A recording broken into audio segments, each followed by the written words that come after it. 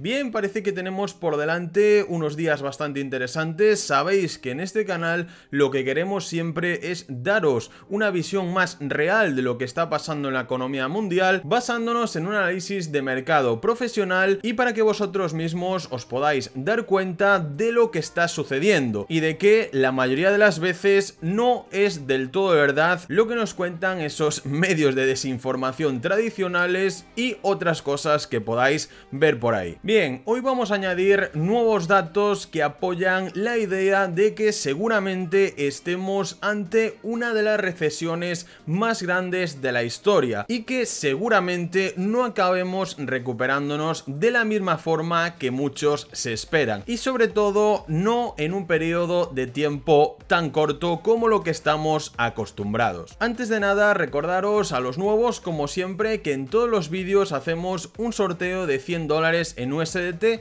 para ayudaros un poquito a sobrellevar este beer market. Los requisitos los tendréis al final del vídeo y en la primera línea de la descripción os dejaré el enlace a nuestra comunidad completamente gratuita de Telegram donde como veis todos los días vamos poniendo análisis de mercado personalizados, noticias, diversos datos que podrían seros de bastante utilidad y repito, es completamente gratis. Así que venga, vamos a empezar que tenemos contenido bastante interesante que analizar. Las medidas de los bancos centrales para contener la inflación empujan a la economía mundial a una recesión.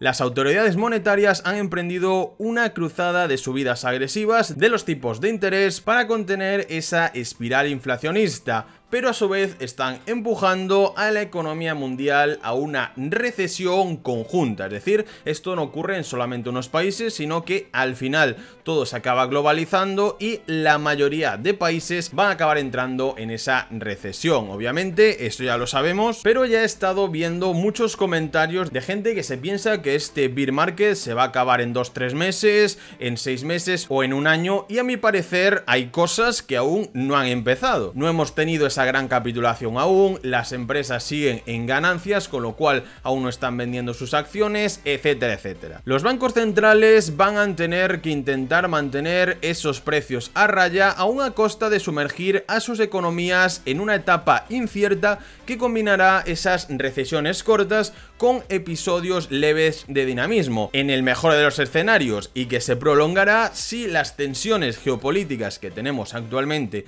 y financieras tienden a remitir a lo largo del bienio 2023-2024. Sinceramente, a mi parecer, creo que en ese 2024 sí que dependerá mucho de esas tensiones geopolíticas si empezamos a recuperarnos o no, pero yo sigo esperando que aún tardemos un poco más. La lucha prioritaria contra la escalada de los precios traerá algunos sacrificios a hogares y empresas. Esto es algo obvio, pero que por ejemplo en España tú vas por la calle, los centros comerciales, las cafeterías están completamente llenos, la gente no ahorra, no invierte y solo gasta su dinero esperando que las cosas vayan a mejorar e incluso tampoco se dan cuenta de que ya están pagando casi un 30% más de sus servicios básicos, comida, bueno, la gasolina sí que se nota, pero la gente tiene un desconocimiento general que es muy muy peligroso con lo que se está por venir. Contracción del empleo, aumento de subsidios de paro, encarecimiento de hipotecas, tarjetas de crédito y sobre todo esa creciente dificultad de acceso a la financiación van a ser algunos de los problemas que tengamos en los próximos meses y obviamente si siguen subiendo como harán esos tipos de interés cada vez irá a peor y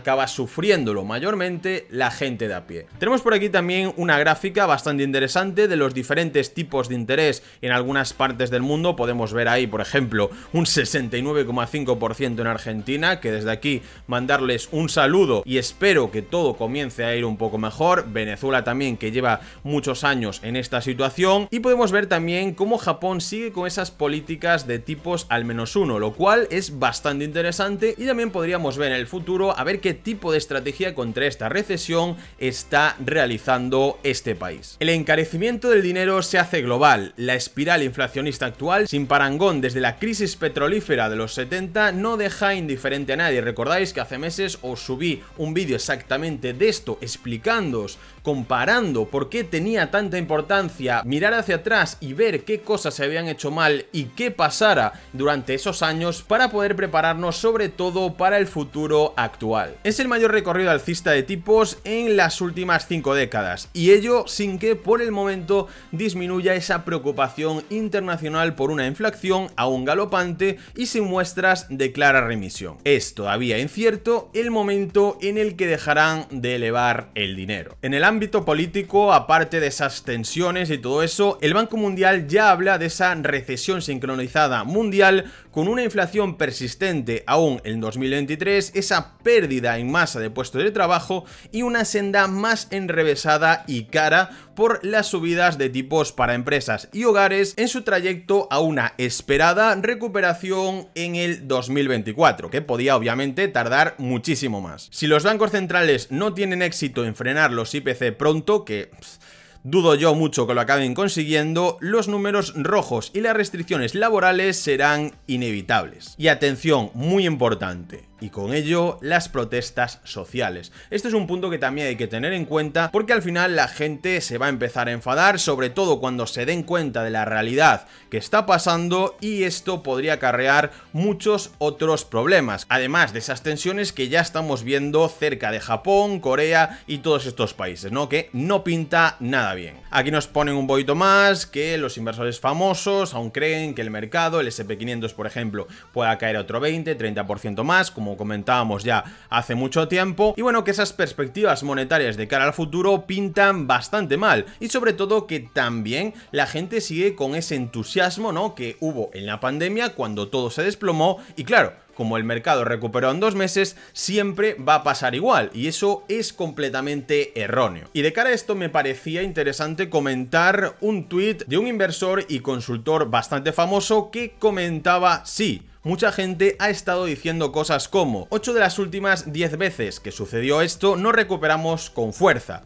Lo que dejan de lado es que las otras dos veces las cosas salieron mal y el ritmo tendencia se comporta más cerca de esas veces que de las otras buenas 8. Esto es lo que llevamos avisándoos de hace muchísimo tiempo y es que estoy cansado de ver por ahí gente recomendando que es el momento para invertir, el mercado va a recuperarse, las cosas han caído mucho, tenemos que comprar, promediar el precio y no sé cuántas tonterías más, pero la realidad es muy distinta. Y es que sí, muchas veces nos hemos recuperado, pero con los datos que tenemos actualmente, esta recesión podría llegar a situarse en la más grande de toda la historia. Así que obviamente tendríamos que tener mucho más cuidado con nuestro capital y dejar de jugar a la lotería. En concreto, este tweet lo puso para contestar a este de aquí, que es una persona que comparte mi profesión y que ya ha sido ganador de muchos premios de cara a la inversión y todo esto. Y nos comentaba que el número de semanas a la baja